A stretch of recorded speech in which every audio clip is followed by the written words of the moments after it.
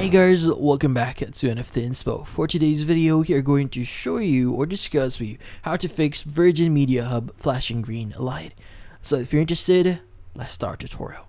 Now you might be wondering why your hub or Virgin Media Hub here is flashing green. Well, in this case, let's discuss a few things here and let's see if it's an actual problem. So the uh, Virgin Hub or Media Hub here actually has LED lights on it. So depending on your model, but usually 44 and 5, they have a single light on the uh, Virgin Hub here. So in this case, the LED lights changes color here uh, and actually indicates a few things and some status on the hub. So for any connect connection issues. So for instance, the slow green flash means the hub is downloading a software update.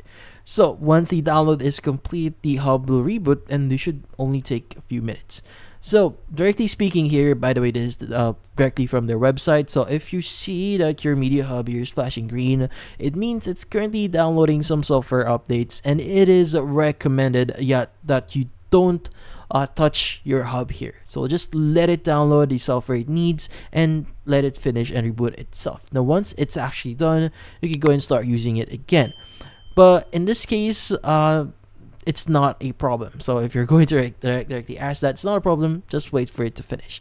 But again, if it's flashing for too long, like it's been flashing for a lot of hours already, like uh, three to four hours already, uh, what you could do here is you want to make sure that you've plugged everything uh, neatly. So for example, if you have any cords in the back, make sure make sure it's properly plugged in. And so also you might want to check for any outages in your area. So, and how do you know if there are any outages in the area? So, you can go to Virgin Media's official website, which is virginmedia.com.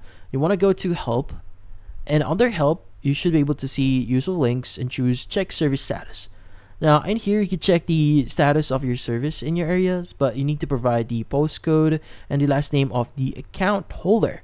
Now once you click on next here, it's going to give details uh, regarding some outages in area. But if you do see some, it means that might be the cause of the issue itself. But most likely, if you're getting, again, the flashing green light here, it's not a problem. Just wait for a few minutes and it should be done. But in this case, that's about it.